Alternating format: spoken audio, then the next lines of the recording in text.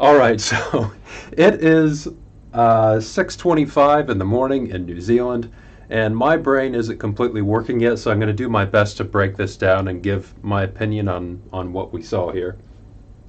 Uh, usually, I get up at well, about 7 a.m. and I got up at 4 a.m. today. So, okay.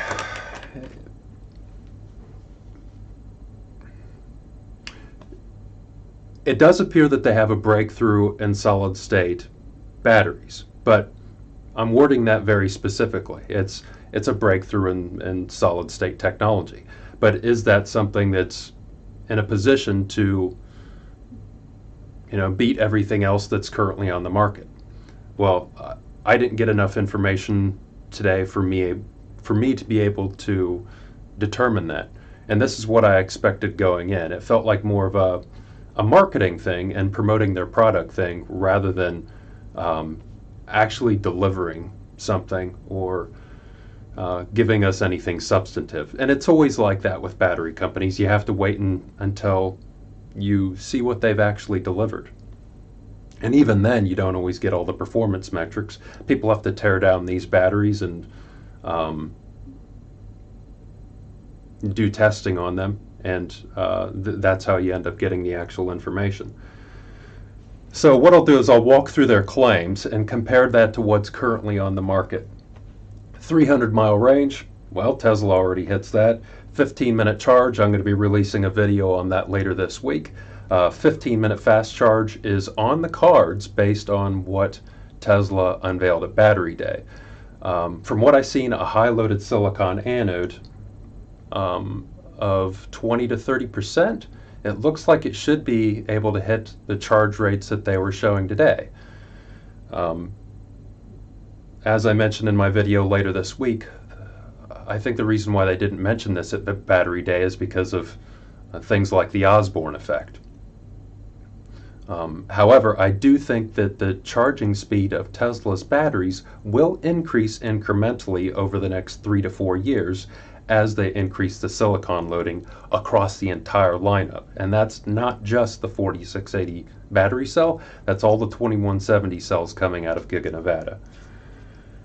Um, so fast charge, it's yeah, it's it looks like it's going to be comparable to what Tesla's going to have about the same time that they're releasing this battery cell in five to seven years.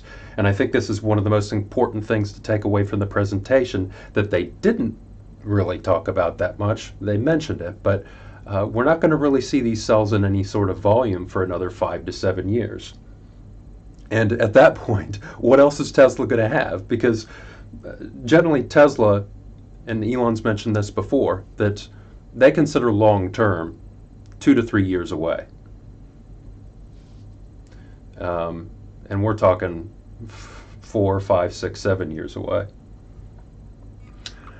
Uh, sub thirty thousand uh, dollar vehicle. Well, that's on the cards for Tesla. That's clearly on the cards for Tesla, based on what they announced at Battery Day.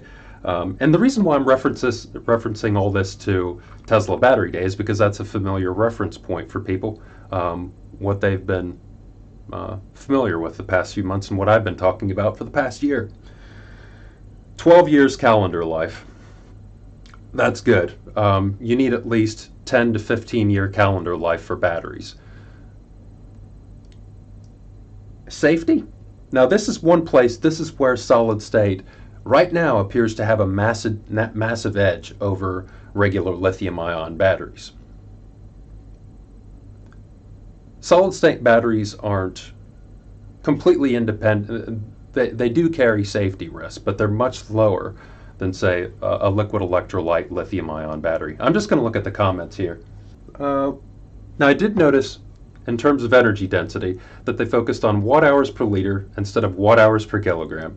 And to me, that's a giveaway that the watt hour per kilogram figures may not be the best. Now, that's not my primary concern, but it is telling uh, about their technology. They managed to compress the stack and make it take up a, a smaller amount of space, um, but it may not have excellent uh, gravimet- gravimetric energy density, which is what matters when you're looking at um, uh, vertical takeoff and landing jets. I'm not energy density is energy density is always a concern for me, but it's it's not my main concern. My main concern is always cost. Right now, we've gotten the energy density of these batteries up high enough where it's just fine for vehicles. We can give vehicles plenty of range. What we need to do is focus on getting the cost down. Okay, so what else do I have here? The cycle life it was decent, but uh, nowhere near what uh, Tesla's cycle life is. It really depends on the testing conditions, so I, I could be wrong there. But they're looking at uh, 90%, from what I can tell from their chart, 90% cycle life after 800 cycles, which let's assume that their line continues at the same slope. That would be about 1600 cycles, which is for solid state, that's great. And once again, to reiterate, for solid state, this uh, this looks like a breakthrough. Um, but there's other technologies out there that uh, are able to provide superior performance in different areas. Uh, every battery technology has positives and negatives. Just because they've released this, it doesn't mean that it's going to mop the floor with everything on the market. First off, uh, if everything they've released is true about the, the cycle life, um, cost, which they didn't even really mention cost. They just said a below a $30,000 vehicle, 15 minute charge, etc. Yeah, it looks really good, but um, even if all that's true, it wouldn't replace all the existing lithium ion battery factories that we have on the planet today. This clearly can't hit, you know, five to 10,000 cycles, which is more what you need for something like energy storage. Probably the best way I could summarize this, um, besides being a breakthrough specifically for solid state, is that it's no compromise of solid state. What was really impressive for me about this presentation is that it doesn't look like they're using additional stack pressure. It doesn't look like they're using um, high temperatures. And uh, they didn't mention anything about putting any liquid electrolyte into a solid state battery. You're thinking, well, what, what's, what's Jordan talking about? Why would there be a liquid electrolyte in a solid state battery? Well, uh, the first question you've got to ask when any, whenever anybody makes a solid state battery is uh, how much liquid electrolyte they put into it, because a lot of times that's a trick a company will use in order to make the solid state battery work, and it defeats the purpose of having a solid state battery in the first place. So it, it, looks like they've gotten around all the tricks that are usually required to make a solid state battery work, which are adding a few drops of liquid electrolyte, stack pressure, and temperature. Um, yeah, I, I can't put a lot of stock in what um, JB said because he was choosing his words very carefully. He focused on the watt hours per liter instead of uh, instead of the watt hours per kilogram. He did mention that it ha- would have good recyclability, but I, I imagine he hasn't even had a chance to try to recycle um, one of these cells. And as we know, everything works in PowerPoint. Uh, hopefully, it is very recyclable. Oh, and he um, one of the things he mentioned that is is that uh, anode, uh, graphite anode, is more difficult to recycle. That's true, but there's other people who are saying that that's actually a solved problem, and they think they're they're going to be able to uh, uh, recycle those anode materials. Um, eliminating the formation step. That now that was a good insight for me. If they're able to eliminate formation, that would be excellent. That, that's formation costs and formation equipment are one of the most expensive parts of the battery manufacturing process. But once again, they didn't really give us any cost targets.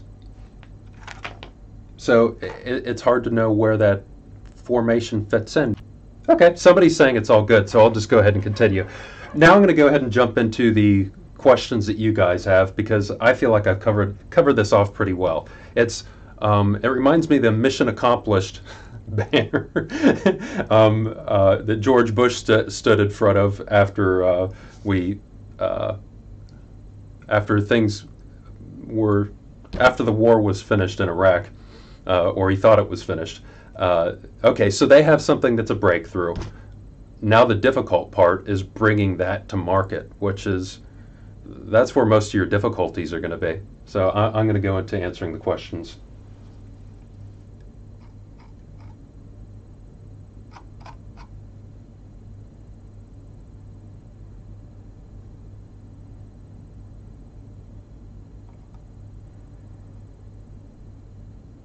All right, you guys, if you have any questions, let me know. Um, I imagine I need to spend some more time processing this, and you probably need some more need to spend more time processing this. I'll, I'll talk to other battery researchers I know and find out if there's anything I missed. Um, looks like there's a breakthrough, but I mean, we might not see it for another five to seven years. Now, I can't describe their breakthrough in one sentence because they didn't really tell us what their breakthrough was. I mean, um, how can I summarize this?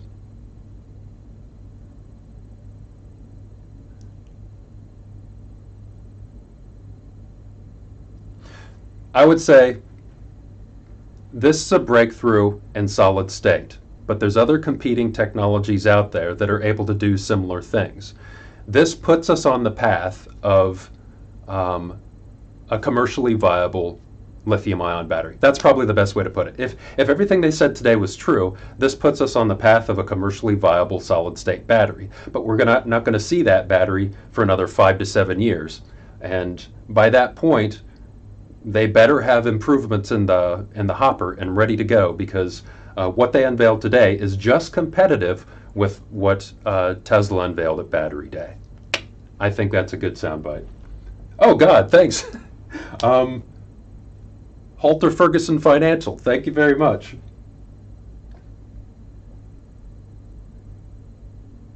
Oh man, I would love to get into other Tesla patents like uh, power steering, wiring, etc. I just realized that uh, I'm coming up on the one year anniversary of the channel. I started the channel on, on the 6th of January last year. And I've spent all of that time focused on Tesla Battery Day. So uh, it looks like we have a couple more months of covering off Tesla Battery Day. Uh, after that, then we can start moving on to other things, but I imagine I'll still be focused on batteries for a while. It's kind of become my niche.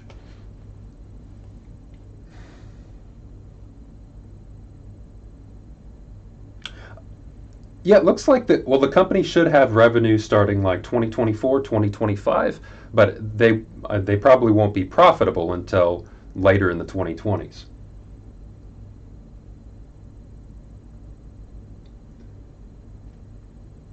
Yeah, they uh, the with regards to the questions in terms of their roadmap, in terms of production, that's all publicly available on their website. So I don't need to speculate on that. They're saying they're going to start production at I think 10 to 20 gigawatt hours in 2024 to 2025 and scale to something like 100 gigawatt hours in 2027.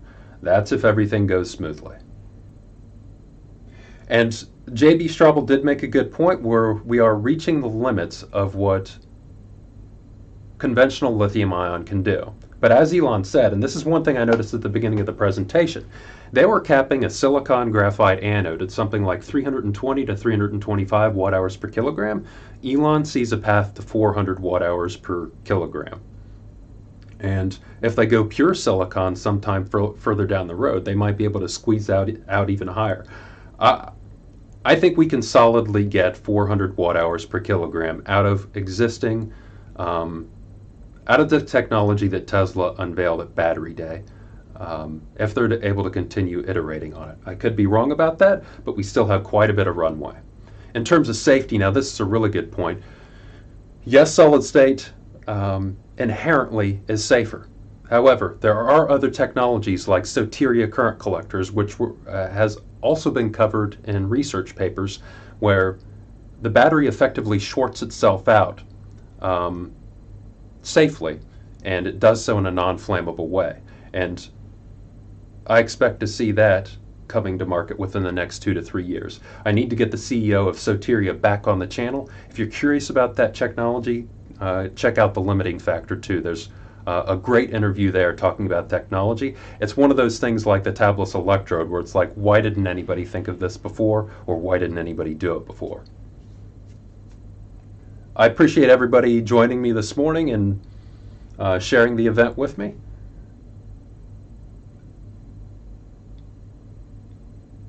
In the short term, this doesn't have any implications for Tesla. In the next five years, no implications for Tesla. So if you're a Tesla shareholder, don't worry about it. Um, longer term, this may allow further cost reductions and energy density improvements if they can improve on what they unveiled today. This is this is a first step in solid state. Sorry, that's my alarm. Usually this is the time I'm getting up. Anyways, have a good day. Thanks for joining me.